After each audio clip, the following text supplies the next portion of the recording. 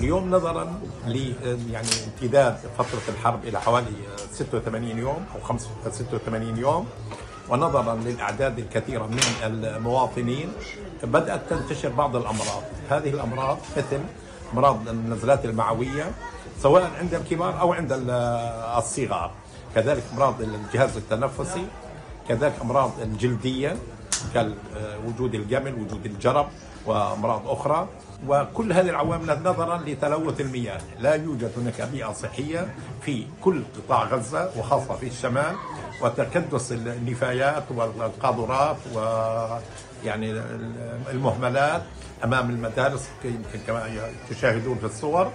كل هذا أدى إلى سرعة انتشار هذه الأمراض.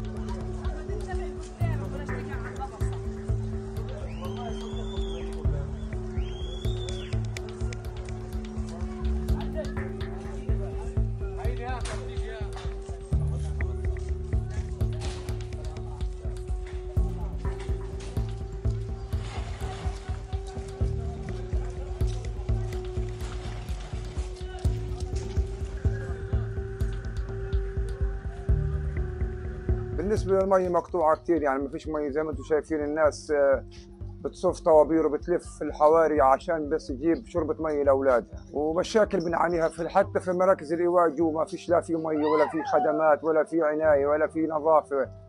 والصرف الصحي بين الخيام وفي الصفوف.